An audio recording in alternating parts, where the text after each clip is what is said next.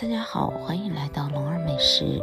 手机锁屏密码忘记了怎么办呢？其实非常简单，教你一个方法，十秒钟就能解开密码锁。随着时代的进步，社会的发展，现在手机是我们生活中不可缺少的一部分。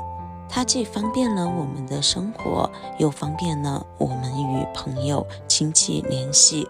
尤其是现在的手机，不仅仅是用来通话了，我们不仅可以用来看电视，还可以用来玩游戏、支付等等。因此，手机不单单是通讯工具，里面也有许多我们的隐私。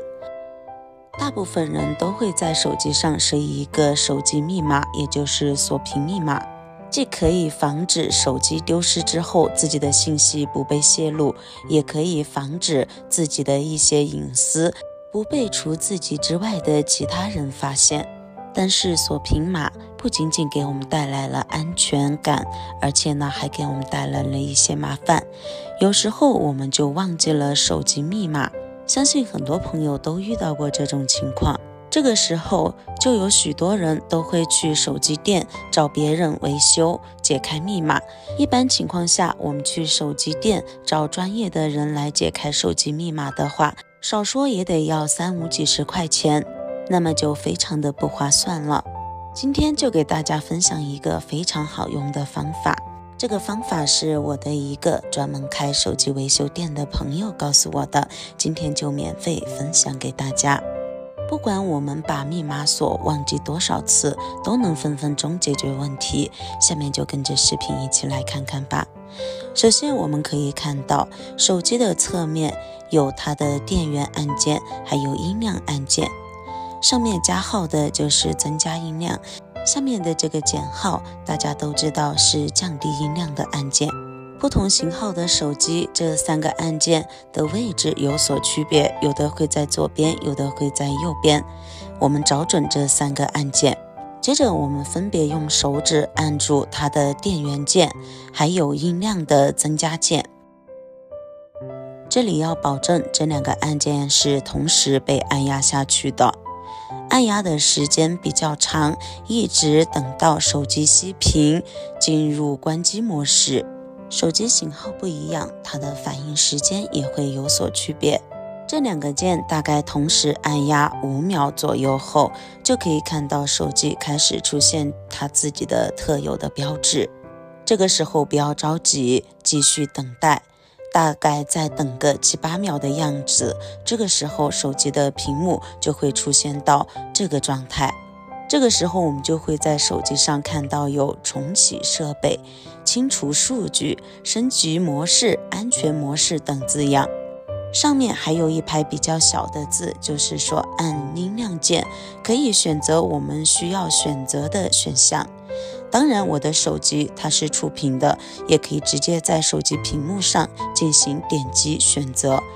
手机不一样，所以它的选择方式也会不一样。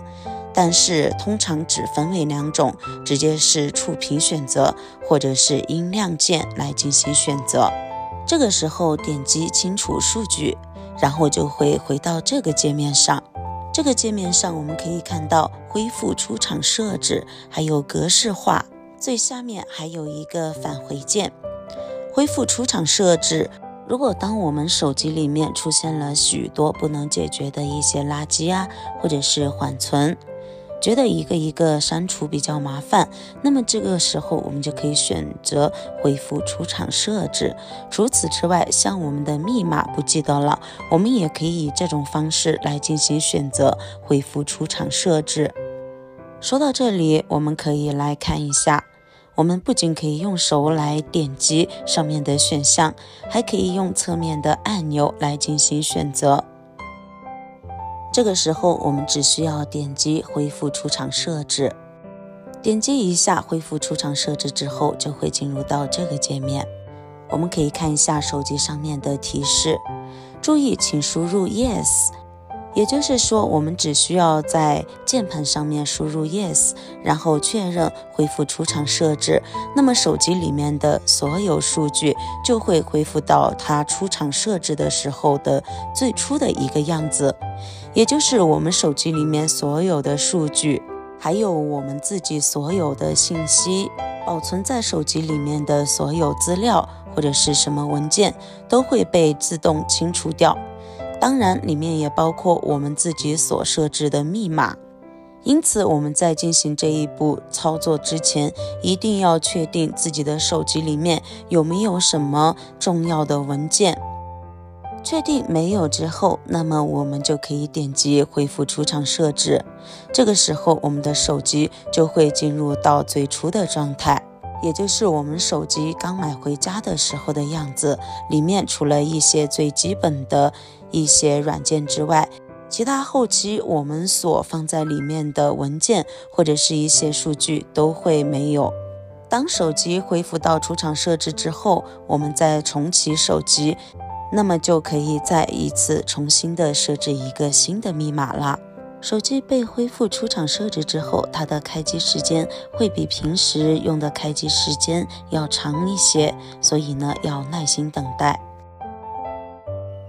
当我们的手机再一次开机之后，里面的数据和文件就是和我们刚买回家手机的时候是一模一样的了，就连我们设置的密码也会被完全清除掉。现在很多人手机里面都有很多的重要文件或者是信息，尤其是一些重要的客户电话呀，或者是资料什么的，都是不可以被丢失的。因此，我们可以通过手机里面的设置，然后在搜索栏里面打入“云空间”几个字，然后我们可以把平时手机上一些比较重要的信息或者是资料。电话号码什么的，一起同步到云空间里面来。这样，当我们手机忘记密码的时候，或者是出现什么问题的时候，就算是我们换了一部手机的话，那么我们里面的资料和一些重要的信息都不会丢失，依然可以被保存下来。这样，我们手机在被恢复出厂设置之后，也可以把之前备份到云空间的数据完全的复制到手机上来，非常的棒哦。今天主要给大家分享了一下，如果我们的手机不小心锁屏后，我们忘记密码了，那么就可以很轻松的用这个方式，快速的将手机解锁。怎么样？这个方法非常的不错吧？既省钱又实用，而且还省时。你学会了吗？如果你也经常出现同样的烦恼，那么赶快一起来学学吧。学会之后，手机屏幕再被锁住打不开的话，再也不用去找维修师傅了，自己就可以轻松搞定了。那么本期的视频分享就到这里了，咱们下期视频再见，拜拜。